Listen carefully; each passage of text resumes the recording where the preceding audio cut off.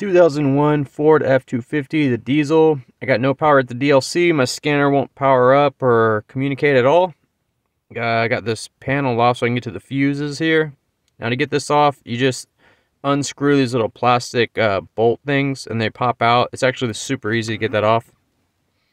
Got my test light here and I was just testing each fuse. Um, as you can see, it'll light up red when I have power. So red, red, red, red. That means the fuse is good if it's red on both sides. I tested this one and I got nothing. One, one is red like that and then one is nothing.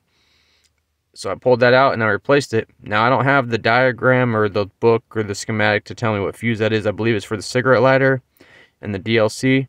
Uh, put another 25 amp in there. Let's see, I pulled it out here. These are the mini fuses.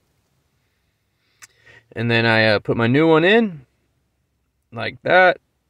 And then my scanner turned on immediately and started working.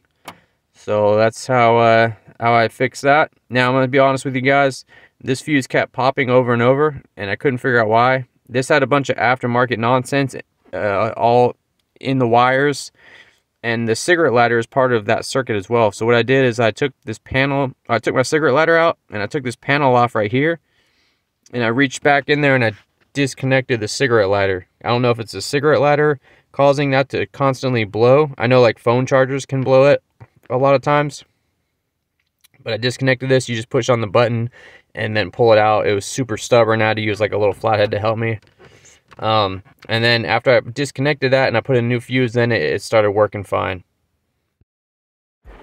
Hey, what's up guys? I want to tell you about this new soap I've been using by a new company called Quantum Soap. It's a men's soap company. They make multiple different bars of soap with their own ingredients and fragrance. They even have a dark matter bar, which is more grittier. If you're a mechanic, you have a lot of dirt and oil in your skin a lot. You can reach them at quantumsoapco.com.